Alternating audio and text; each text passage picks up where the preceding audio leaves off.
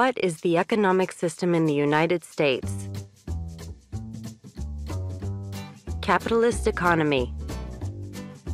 Market economy. What is the rule of law?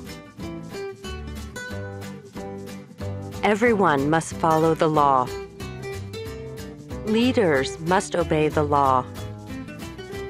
Government must obey the law. No one is above the law. Name one branch or part of the government. Congress.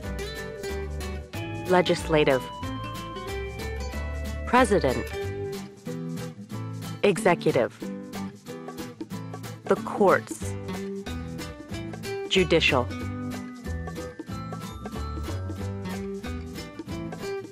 What stops one branch of government from becoming too powerful?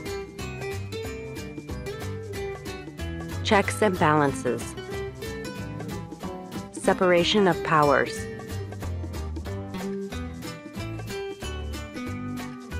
Who is in charge of the executive branch?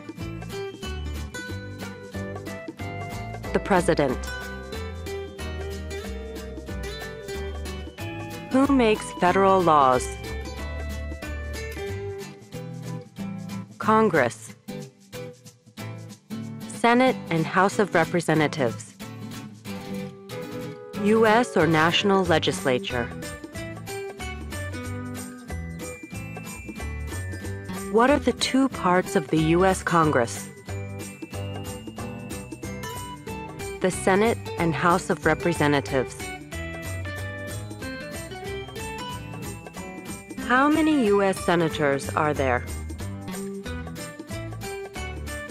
100.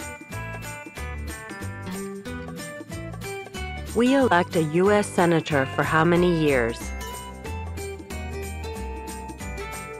6. Who is one of your state's U.S. Senators now? Answers will vary.